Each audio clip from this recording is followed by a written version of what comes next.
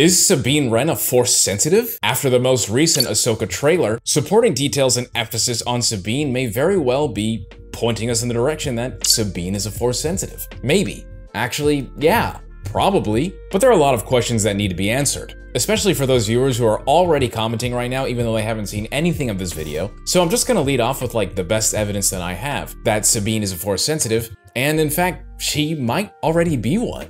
Sabine trains with the dark saber, And yes, while the dark saber itself is important, but the idea here is exactly what Kanan says while she's struggling to train with the dark saber. Maybe because she doesn't have the Force, you don't believe she can do this? No, the Force resides in all living things, but you have to be open to it. Sabine is blocked. Her mind is conflicted. Kanan's answer is the key. He says, no, Sabine is blocked. Her mind is closed and conflicted because she was indirectly responsible for thousands of her own people dying. And of course, we know that she has family issues, and those family issues are not resolved until the end of Star Wars Rebels. So you could easily say that Sabine is probably at the right mental state after Star Wars Rebels, but very clearly we're seeing her still struggling with some type of mental issue with the Ahsoka trailers. And this is probably a great segue to go into my second reason. Attributes of a Force Wielder. The attributes of a Force Wielder are often overlooked, and we have so many variants of attributes of what Force Sensitive look like or the characteristics that go into a Force Sensitive. There are things like piloting starships or piloting pod racers, uh, the openness of the galaxy and your own spirituality, Characters like Maz Kanata from The Force Awakens, and a character like Chirrut Îmwe from Rogue One. But there is one characteristic that is often overlooked, and that is expression. Yes, the process of making known one's thoughts or feelings. Sabine Wren is probably the greatest visual expresser and storyteller in all of Star Wars. And when I talk about expression, I mean her incredible and very unique talent of art her graffiti, fam. Art is not something everyone can do, let alone everyone do it just as good as her. And Sabine opens up to her surroundings, her sufferings, and her experiences, ultimately expresses everything that she went through through her graffiti. And this is also a direct connection to what Kanan says when she's training with the dark saber. She's so expressive and yet so tightly wound. She's so Mandalorian. Ugh, very.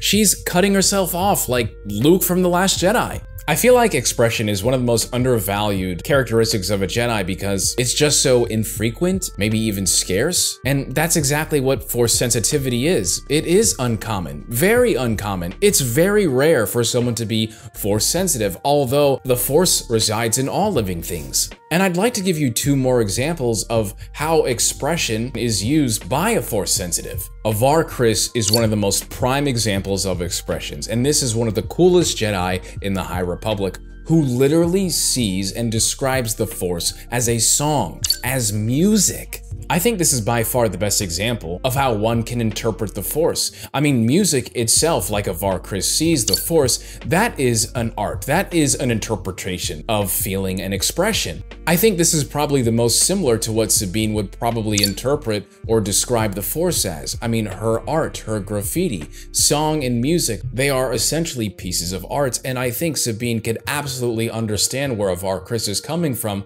when she senses the Force. And there are way more simpler forms of expression, just like we see Ezra Bridger and Cal Kestis. Kind of like little hoarders or even collectors in the galaxy going around collecting little trinkets for their lightsabers or even helmets of stormtroopers. I think that's something that is very overlooked. And of course, when you think about how complicated characters are and their force sensitivity, I mean, Ezra Bridger is a great example of how long it took him to be a little bit more open of the force. He didn't really even understand what he was doing, and it took someone like Kanan, who kind of understood where he was coming from, to finally get him on the pathway to becoming a Jedi. And age is also a very unique concept when it comes to Force sensibility because there are so many characters that either are open, naturally open to the Force, just like Ahsoka was that we've seen in Tales of the Jedi, or even someone from the Legends continuity like Bane, where half of his life had already been lived, and he kind of understood that there was something deep inside him that beckoned for more power that was the Force, but it was only late until his 30s, maybe even early 40s, where he actually understood and acknowledged what the Force was and finally was able to learn and had teachers. The Force works when it deems it's ready. It does not come at a want, it comes at a need, and anybody can be Force sensitive. But with that, I want to close with one final thing, and this detail is actually what inspired me to make this video is because the newest Ahsoka trailer dropped one of the craziest details that I think we've seen for this theory, and that is Ahsoka's feelings. Ahsoka's feelings are by far one of the most important details we should account for. We know Ahsoka. She's been through so much, and she's arguably the greatest representation of Star Wars because she's been through every era. Almost every era. She's been through the prequel trilogy. She has seen what the Jedi have done, and of course, the tragedy and fall of Anakin Skywalker. She's been through the dark times with the Empire in the original trilogy, and of course, that's what we see in Star Wars Rebels but also the fight between Darth Vader and discovering the identity of who Darth Vader is. And finally, and most importantly, The Mandalorian, which showed exactly why she rejects the idea of training Grogu. Ahsoka doesn't just do things, fam. No, she's incredibly smart, incredibly experienced, and has so much wisdom and probably has the most understanding about the Force in this timeline, even more so than Luke, I would say. And that's because she's the former apprentice of Anakin Skywalker. This makes her understand so much more than everyone else in the Star Wars galaxy. I mean, not even primetime Luke could really understand what his father was and of course the teachings that his father had to give him. Only really Ahsoka gets that. But the trailer. The trailer shows us this. I bet your master found you difficult at times. Anakin never got to finish my training. I walked away from him, just like I walked away from Sabine. You never made things easy for me, Master. Sabine calls Ahsoka Master. Master is not a terminology that is thrown around very lightly. No, there is a very heavy weight to master and labeling yourself as a teacher, especially a Jedi, and a Jedi that has the caliber of Ahsoka Tano. And the biggest and most prime example is when Ahsoka walks away from teaching Sabine. Anakin never got to finish my training. I walked away from him, just like I walked away from Sabine. Ahsoka has seen what a fully trained Jedi Knight who falls to the dark side can do to the galaxy. It's calamity. And she tells us exactly this in The Mandalorian. He's formed a strong attachment to you. You cannot train him. His attachment to you makes him vulnerable to his fears. I've seen what such feelings can do to a fully trained Jedi Knight. To the best of us, I will not start this child down that path. Better to let his abilities fade. It is so very easy for Ahsoka to walk away from training Sabine and let her force abilities just fade away. But to even make this decision, Ahsoka needed to detect some inkling, a minute sense of force abilities in Sabine Wren. I think just by watching the trailer, you can easily understand that maybe, potentially, Sabine is a force sensitive. Ahsoka Ahsoka probably understood that she was force sensitive, but also declared that she had a major attachment issue. And that attachment issue is Ezra Bridger. Because we all know that Ezra was counting on Sabine to find her. He says that in Star Wars Rebels.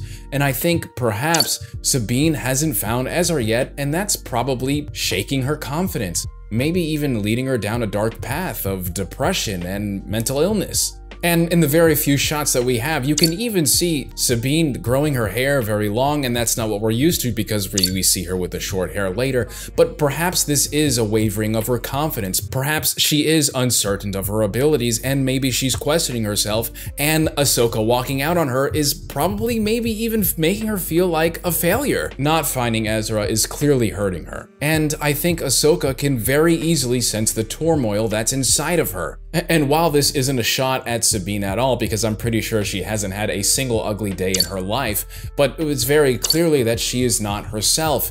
And I think that Ahsoka, someone that understands what the failure of teaching a Jedi can do, I think she makes this decision because she knows Sabine can probably make a Jedi with her training. And if she can make a Jedi, well then she can very easily fall to the dark side and cause something terrible to happen because of her emotions, because of her attachments.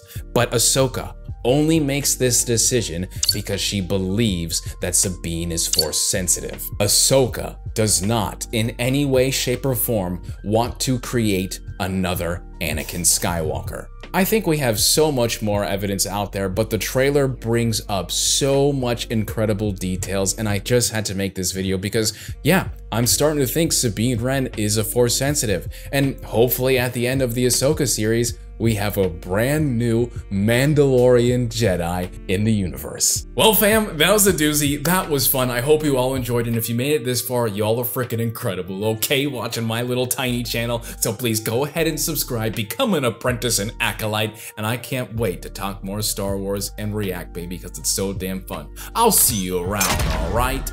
Deuces!